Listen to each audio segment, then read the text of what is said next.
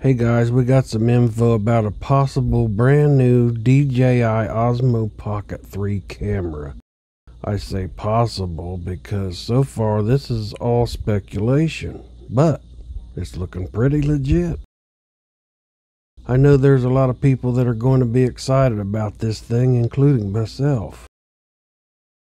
The Osmo Pocket has actually been an innovative camera from the beginning, even more so this time around.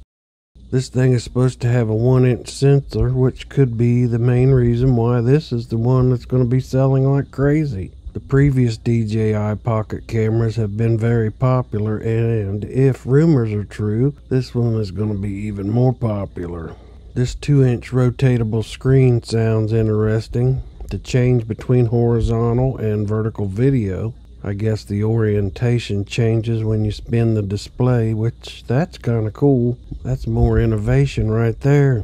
Then you got a three axis gimbal stabilization, and you got Active Track 6.0 to track perfectly and follow your fat pumpkin head around the screen.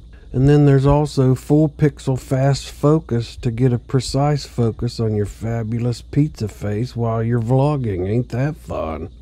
Comes with 10-bit D-Log M. I wish it had a D-Log instead of a D-Log M because I think D-Log has a better dynamic range, but at least we get some kind of log.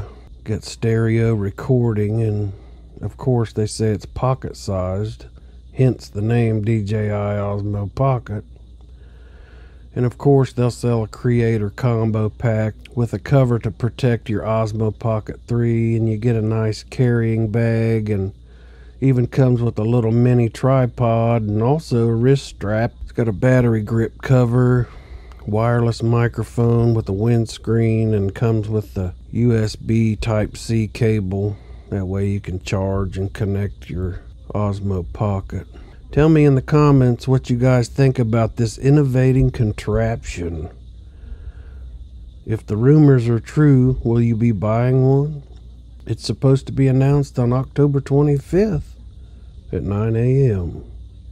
I'm out of here. Thanks for watching.